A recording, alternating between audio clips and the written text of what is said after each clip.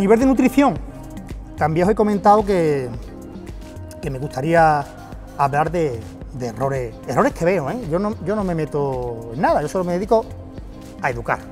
Y no todos, ¿vale? No todos, pero sí en la gran mayoría, como en todo, eh, eh, en todos los gremios, pues hay gente que no es profesional. Entonces, fijaos qué, curiosidad. cuando reviso una dieta de un atleta, ¿eh? ya sea porque él mismo con su conocimiento se la haya hecho, o bien otro preparador, ¿vale? Yo no digo ni que, ya os digo, ni que yo tenga la verdad absoluta, ni nadie. Digo errores que veo que se pasan por alto. Cuando veo que la dieta está programada en calorías, calorías totales, eh, calorías, eh, una dieta hipocalórica en el caso de que quiera perder peso, ¿verdad? y una dieta hipercalórica. Dentro de esas calorías medimos los macros. Entonces, un nutricionista debe de saber cuál es la cantidad de macros exacta o cómo variar dependiendo del objetivo que queramos con esa persona. Como base, entendemos que del 50 al 60% de los carbohidratos netos eh, o sea, de las calorías totales deben de venir de los carbohidratos, perdón. ¿Por qué? Porque si no tenemos ese porcentaje, parte de las proteínas, pues eh, por, por un desequilibrio en la gluconeogénesis, se van a convertir en glucosa. Eso va a crear desechos y esos desechos, pues al final, pues, van intoxicando al cuerpo. ¿Qué ocurre cuando tenemos un objetivo como perder grasa o competir? que muchas veces desequilibramos esos macros peligrosamente. Pero bueno, hacemos muchas veces en la vida diariamente que, es peligroso, pero lo hacemos por muy poco tiempo. Y al final el cuerpo se va a adaptar a todo. Es decir, una dieta sin carbohidratos, te vas a adaptar, vas a seguir viviendo. Una dieta muy rica en carbohidratos y muy baja en grasa, te vas a mover, el cuerpo se va a adaptar.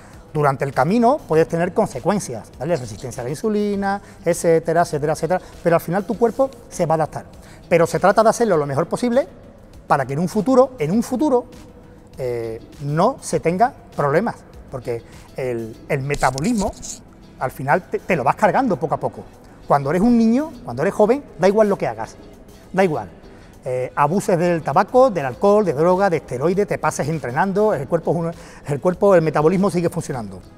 Eh, en fin, eh, potasio, calcio, sodio, bien. Minerales, minerales.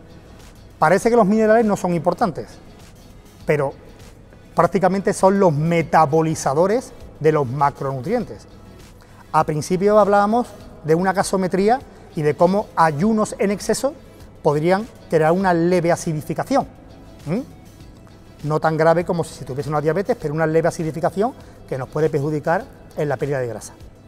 Los minerales que contrarrestan todo eso es el calcio, el magnesio, el sodio y el potasio. En este caso el fósforo, eh, bueno, también, pero eh, es un mineral eh, ácido. Entonces, si no le damos eh, esto al cuerpo constantemente eh, tiene que estar luchando por mantener ese equilibrio diario y lo va a mantener, en ¿eh? hagas lo que hagas. Pero fijaos, si somos atletas de hipertrofia y llevamos una dieta hiperproteica, no nos vale con mil miligramos de calcio, porque solo comiendo dos gramos de proteína por kilo, imagínate ya que come tres o cuatro, ya tiene una alta cantidad de aminoácidos azufrados y por lo tanto una acidificación. Por lo tanto, eh, el cuerpo necesita una demanda eh, más alta de calcio. A lo que iba, para que un atleta deba de obtener los 1000 miligramos de calcio, 350-400 miligramos de magnesio y los 3700, 4000 miligramos de potasio, hacer la cuenta, ¿eh? Lo digo porque yo llevo mi nutrición y, fijaos, os voy a poner mi ejemplo, ¿vale? Que se me ocurre. Yo consumo muchos vegetales. Eh, la Organización Mundial de la Salud aconseja que se coma cinco piezas de fruta y cinco porciones de verdura, ¿verdad? aproximadamente de unas 150 gramos cada uno. Yo normalmente consumo en mi dieta unos 200 gramos de espárragos, espárragos verdes.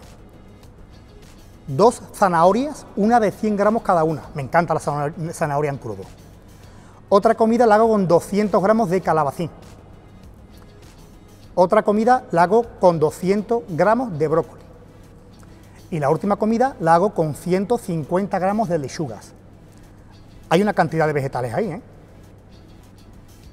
con esta cantidad podéis ver en vuestra calculadora que no llegáis a la cantidad de calcio, ni a la cantidad de potasio, ni a la cantidad de magnesio. Muchos atletas en competición, en competición, llegan la semana antes de competir y empiezan a cargar. Después de una descarga de carbohidratos, empieza una carga de carbohidratos. Obviamente, si no hay suficiente potasio intracelular, el músculo, la fibra, no se va a cargar de, glucógeno. ¿Mm? Recuerdo en 2013, 2013-2014, cuando el maestro Milo Sarce pues me ayudó en mi preparación para un Mister Olimpia. Y yo no era gran consumidor de vegetales, que fue lo primero que me preguntó como nutricionista profesional. Consumía muy poco, 100 gramos. Entonces me dijo, dos semanas antes tenemos que empezar aumentar el potasio, porque si no tenemos potasio intracelular, no vas a cargar de glucógeno. No, no, no nos confundamos con el potasio en suero. Muchos dirán, eh, te miras el potasio en sangre y está bien. Una cosa es el potasio en suero en sangre y otra es el potasio intracelular. Y aunque tiene que ver, pero no es lo mismo. Muchas veces el potasio en suero en sangre puede estar bien, pero intracelular puede estar depleto, sobre todo si somos, si somos atletas. Atletas de hipertrofia que tenemos, que tenemos contracciones. Por lo tanto, si no se consume grandes vegetales, pues dos semanas antes hay que consumir suplementos de potasio. Es más, si estamos en una dieta baja en carbohidratos, eh, no nos vale consumir potasio común. Nos vale, tendríamos que tomar una forma de, potasio que sin la necesidad de haber insulina en sangre se introduciese dentro de los músculos, como es el bicarbonato potásico, o lo que los competidores conocíamos aquí en España como un producto farmacéutico que es el Boica aspartico. El ácido aspartico y el bicarbonato de potasio, pues no hace falta gran cantidad de insulina para que se introduzca dentro de, la célula. ¿vale? Muchos dirán, eh, bueno, pues yo no como vegetales porque no me gustan y dos o tres semanas antes consumo potasio. Es que el potasio en forma de suplementación puede ser peligroso. Puede ser peligroso. Para empezar, eh, muchos atletas pueden tener una pequeña insuficiencia renal, un estadio 1 y no saberlo. Sea, cuando un filtrado glomerular está al 90%, el atleta no lo sabe. ¿Mm? Y, para empezar, porque la mayoría no, no se hacen analíticas. Si eso pasa, hay que tener cuidado cuando te suplementas con potasio. ¿Mm? Entonces no es lo mismo, ¿vale? Pero en mi caso lo tenía que utilizar por, eso, por eso mismo. Imaginaos el atleta que durante meses antes o durante toda su carrera no ha estado metiendo esa cantidad de vegetales y verduras.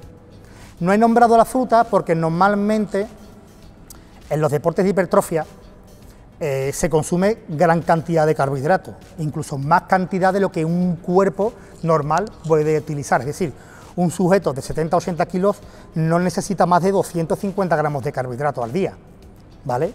Para, sobre todo para, para moverse y para los únicos órganos dependientes de la glucosa. No necesitan más.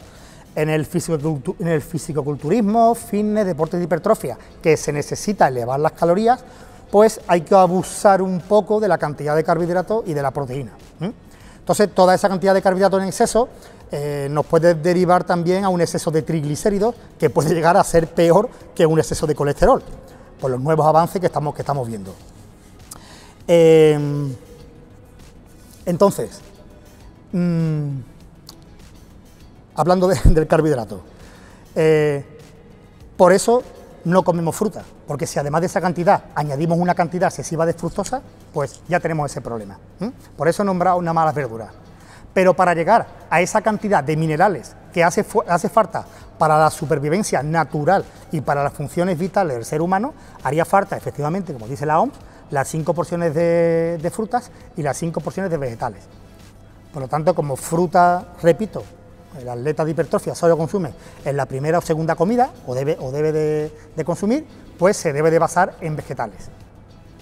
Algunos dirán, bueno, yo me suplemento con un suplemento de magnesio y un suplemento de calcio, estamos en la misma.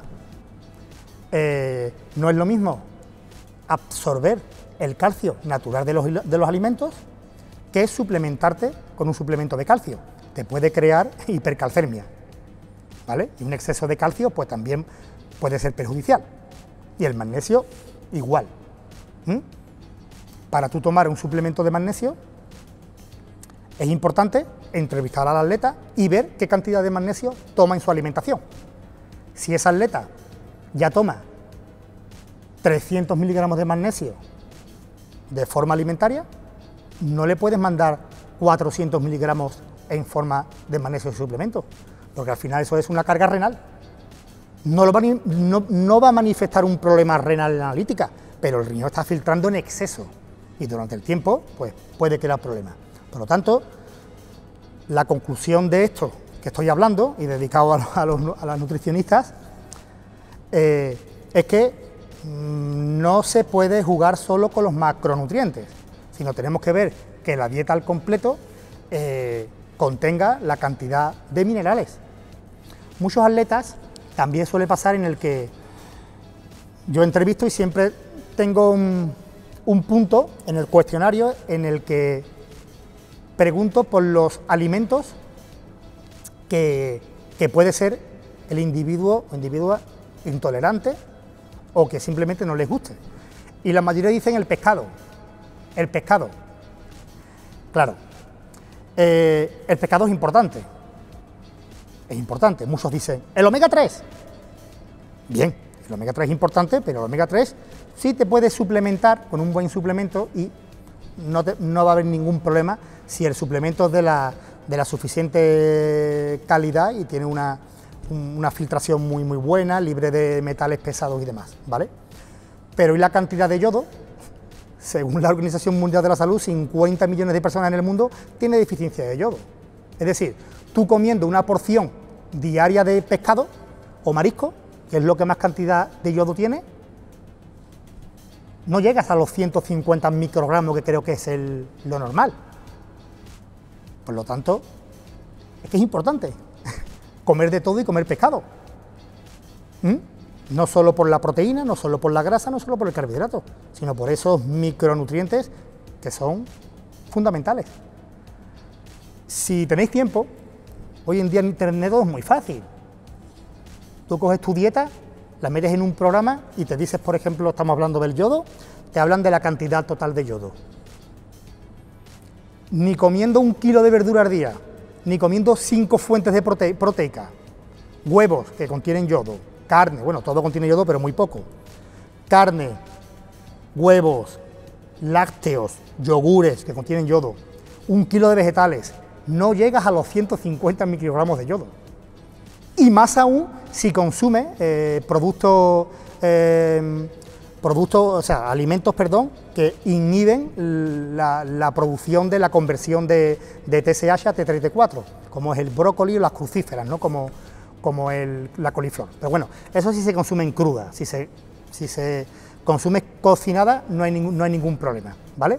Pero no se llega, no se llega, por eso hoy en día, si entras en la, página de la Organización Mundial de la Salud, eh, antes mm, la sal yodada pues era algo bueno para alguien que tenga problemas de bocio o tenga el problema, pero es que hoy en día la Organización Mundial de la Salud incluso la aconseja.